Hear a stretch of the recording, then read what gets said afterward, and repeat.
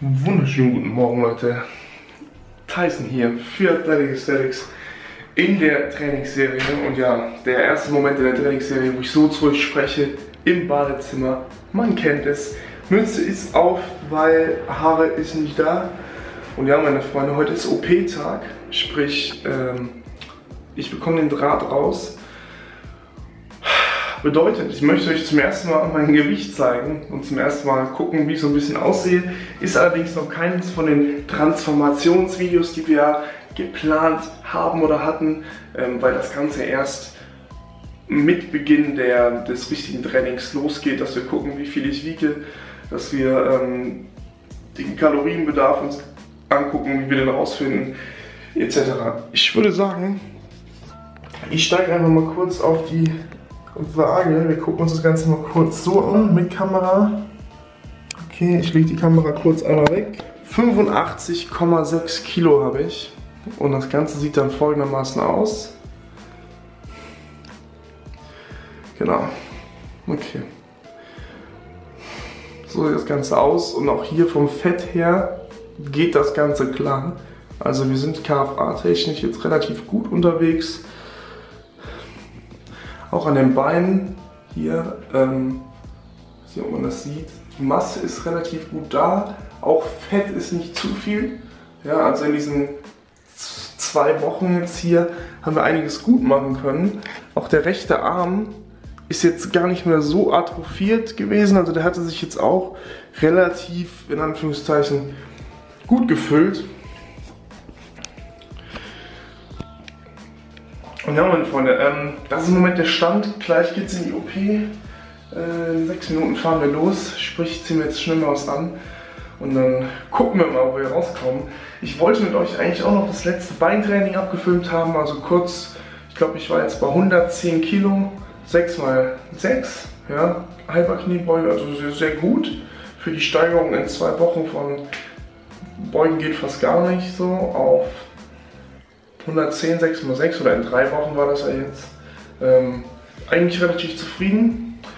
Ich melde mich jetzt gleich wieder mit ein bisschen mehr auf, äh, auf Dings und erzähle euch so ein bisschen, wie die OP verlaufen ist oder was ich, wie es mir geht, was ich denke, ob es gut verlaufen ist, ob noch Draht drin ist oder nicht. Und dann äh, schauen wir mal.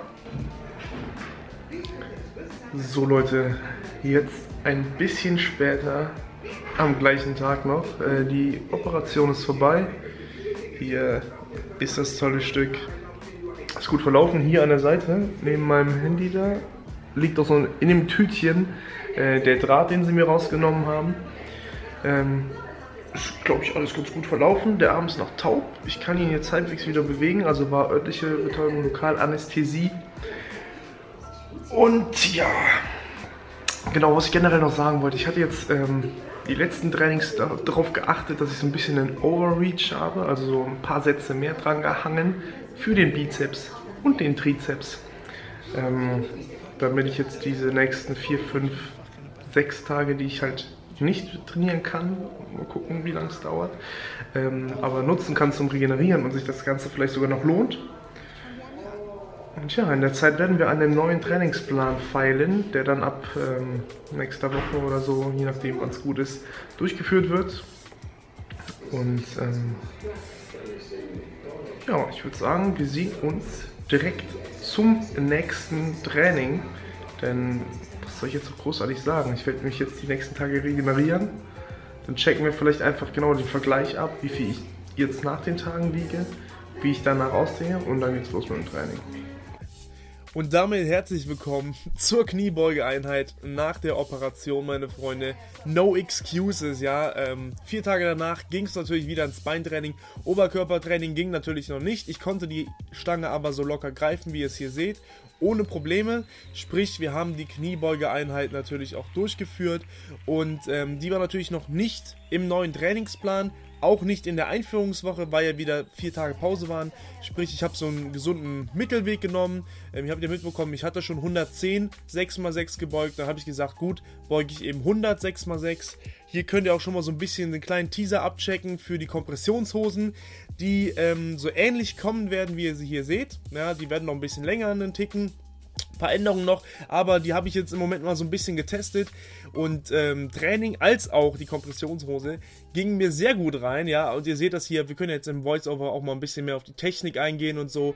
Mittlerweile wirklich die Fersen circa unter der Hüfte, Beine ist da, by the way, also mittlerweile die Beine haben einiges an Volumen tatsächlich zugewonnen. Und das war ja wiederum hier wieder Tag, äh, vier Tage nach der OP, also ähm, ja, also wirklich, ich bin echt überrascht, was so ein Körper dann schnell wieder da aufs Tablett zaubert, wie das dann wieder aussieht. Aber wie gesagt, ist, darum geht es nicht, sondern um die Technik.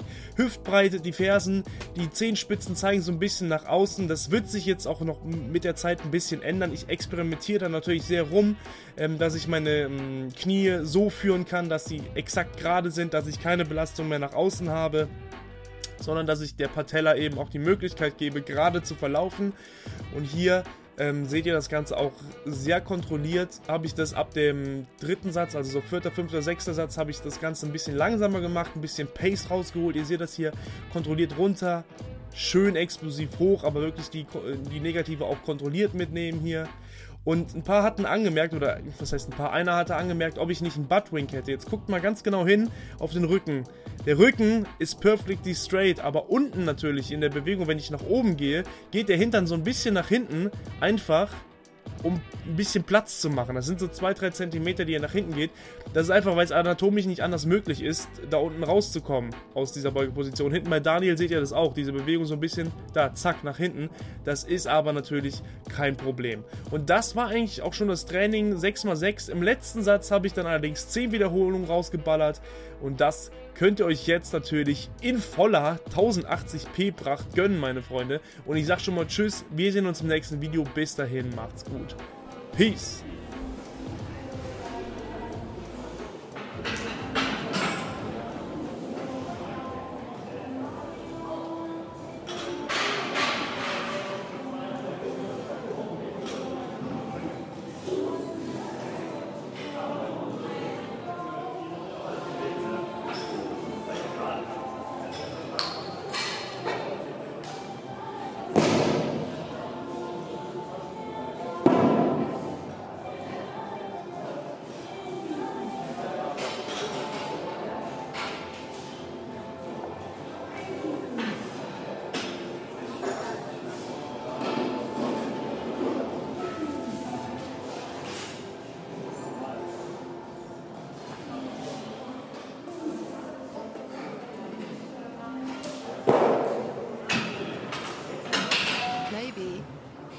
Pull the fucking trigger.